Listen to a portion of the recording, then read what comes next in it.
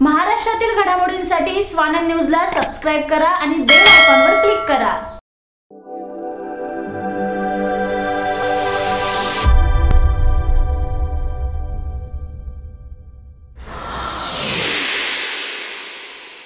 Anurag Pawar as international makeup artist also teach the students.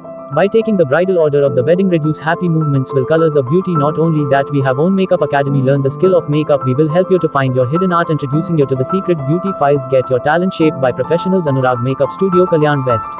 Kalyan Dombivli आणि आजूबाजूच्या शहरात करोनाचे रुग्ण हे वाढत आहेत रुग्णांना लवकरच रिकवर होण्यासाठी रेमडेसिवीर हे इंजेक्शन दिले जात आहे पण सर्वच ठिकाणी रेमडेसिवीर इंजेक्शन तुटवडा जाणवत आहे मात्र कल्याण पूर्वेतील अमय फार्मसी या मेडिकलमध्येच या इंजेक्शनचा साठा उपलब्ध असल्याने मेडिकल बाहेर रुग्णांच्या नातेवाईकांच्या लांबच लांब रांगा लागल्या आहेत.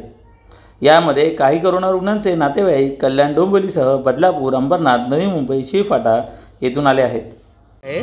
मी अंबरनाथवरून आलो आहे इंजेक्शनसाठी खूप आम्ही फिरतो आहे पण कुठे अवेलेबलच नाही आहे इंजेक्शन आता सध्या आम्ही कल्याणला आलेलो आहे.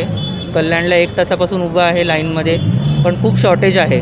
तर अशी विनंती होती ग सरकारकडे की प्रत्येक ह्याच्यामध्ये आता जे कोणी अंबरनाथला आहेत जे कोणी ठाण्याला आहेत कल्याणला आहेत प्रत्येक ठिकाणी तो स्टॉक अवेलेबल व्हावा आणि प्रत्येकाला ॲटलिस्ट तो मिळावा.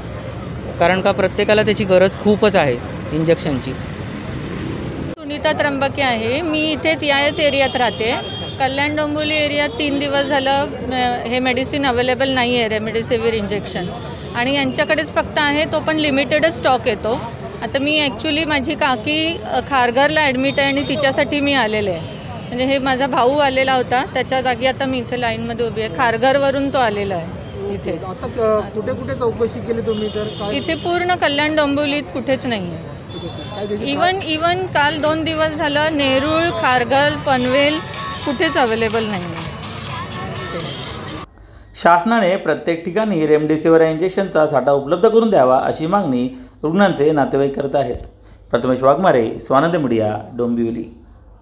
महाराष्ट्रातील घडामोडींसाठी स्वानंद न्यूजला सबस्क्राईब करा आणि बेल आयकॉनवर क्लिक करा.